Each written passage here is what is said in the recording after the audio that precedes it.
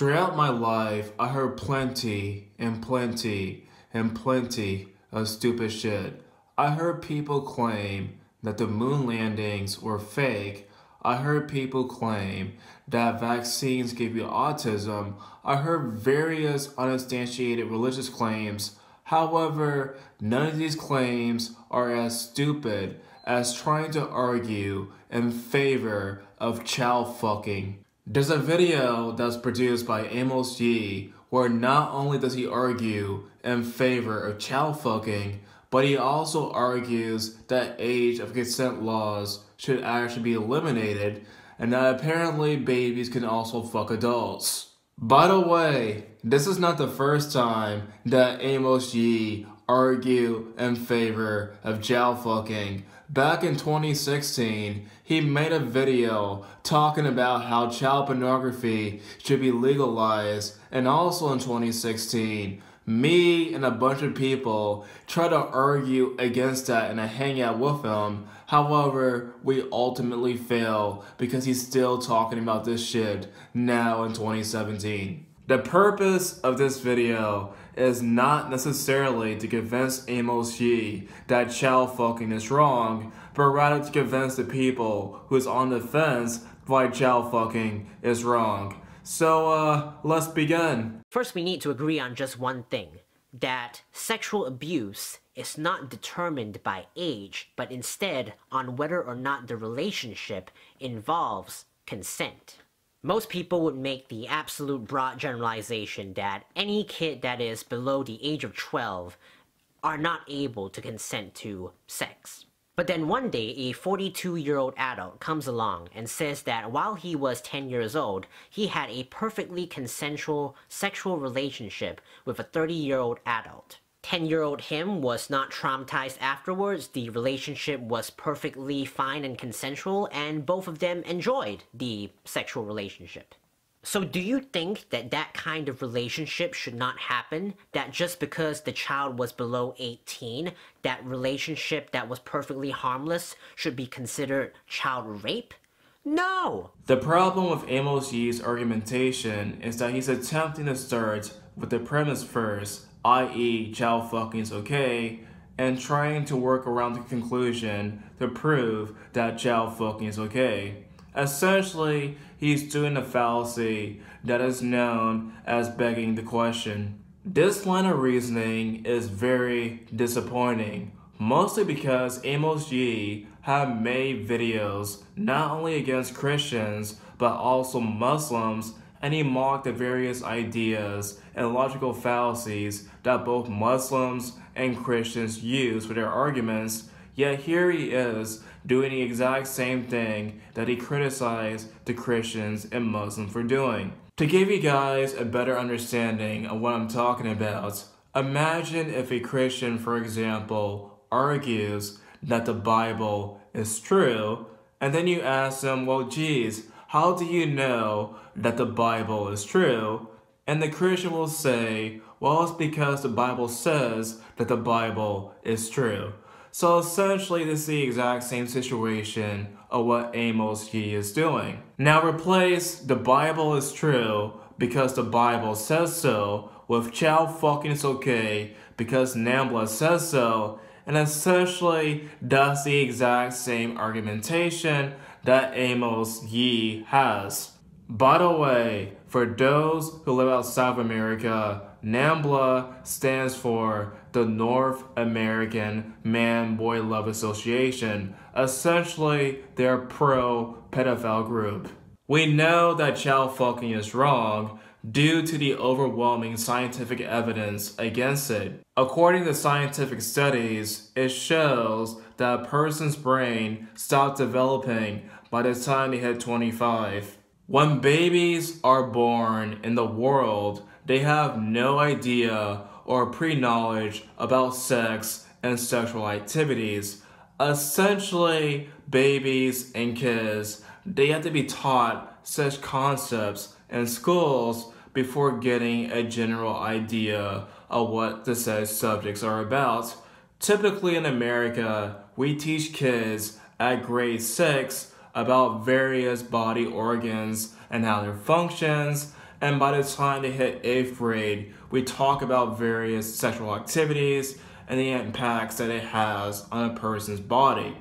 Not only that, but kids, they do not develop any sort of sexual urges, mostly because they don't really have that kind of urge mentally. By the time a person's a teenager, essentially they go through something that is known as adolescence. During puberty, not only do teenagers experience a bodily change by growing taller and growing breasts in pubic hair, but also mentally they feel a difference in regards to sexuality. During this period, which by the way, I am not referring to that time of the month that women have, essentially teenagers mentally and physically, they develop urges as well as affectionateness towards other teenagers that happen to look attractive to them. When you compare that to kids, mentally and physically, kids are not able to consent to such actions, mostly because kids do not think about sex, and the only time that kids think about sex is when they start to turn into teenagers and begin to develop these feelings. Now, I'm absolutely certain that we should not discriminate against pedophiles. Our society's treatment of pedophiles is inhumane and horrendous. Oh my gosh. A pedophile is simply defined as an individual who has a sexual attraction to children. That's it. It doesn't mean he's going to molest children. It doesn't even mean he's going to act upon his sexual urges. All he has is the non-violent sexual attraction to children. If you have the desire to rape children, then yeah, that's bad. But most pedophiles, like most people, do not want child abuse. Most pedophiles and people in NAMBLA absolutely condemn rape and child abuse. Note how Amos Yee is using manipulative language to mislead people. And one second, he argues that he's not in favor of child rape and child abuse, and neither is NAMBLA. However, at the very same time, he does not realize that he actually is arguing in favor of child rape and child abuse. This particular fallacy is commonly known as ambiguity. Based upon the scientific data, we do in fact know that the overwhelming majority of kids who have sexual relationships with adults ended up traumatized as a result of that situation. Not only does this stuff is traumatizing for people who actually suffer underneath it, but also in some cases can in fact lead to death. During the transition between childhood and adolescence, it is said that girls can have their period as early as 11 years old. And essentially, because they can have their period and start to menstruate, it's a potential chance that a girl that young of an age can actually get impregnated by somebody from that action. Both physically and mentally, girls that young of an age cannot handle such responsibility, both physically and mentally. Physically, the childbearing is basically virtually painful because their body is not developed yet.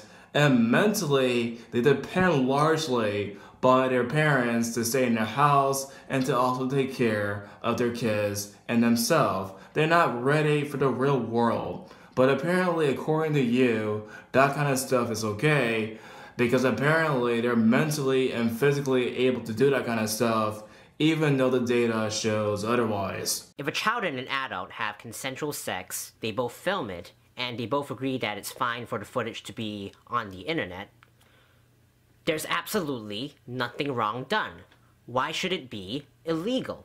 In the US, for producing child porn, an adult gets a minimum of 15 years in prison and a maximum of 30. That is fucking insane! Even worse is most countries criminalize simply possessing child pornography. Possessing child pornography, a completely non-violent act, whether you viewed it based on sexual attraction or non-sexual curiosity, In the US, you get a minimum of 5 years in prison and a maximum of 15. What the fuck? And even if I gave you the benefit of the doubt and said that, okay, all child sex is rape, and so all child pornography is essentially footage of rape, is it wrong to upload or view footage of child rape? No!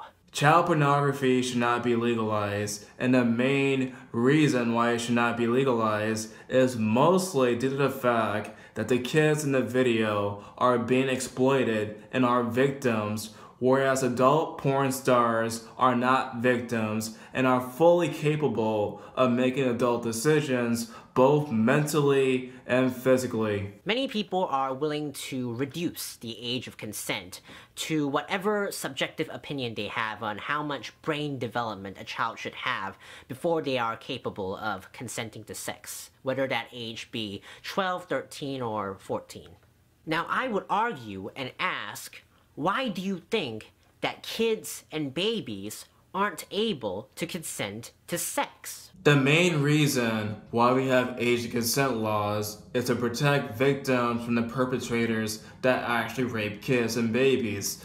And the main reason why we have such laws is because of the scientific data that shows that kids and babies do not have enough life experiences, both mentally, physically, emotionally, to make such choices and that's why we have such laws.